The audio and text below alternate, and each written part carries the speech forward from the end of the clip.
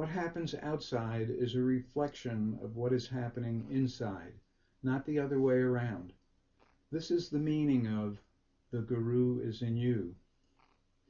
If we long deeply inside, we will attract the teachings we need.